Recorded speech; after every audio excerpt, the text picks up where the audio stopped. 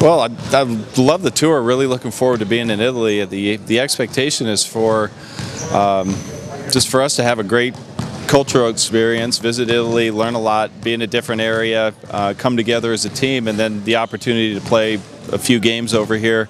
Um, that's going to be a great look for me to be able to see what we have with our team. Uh, different combinations, would see how new players play in game situations.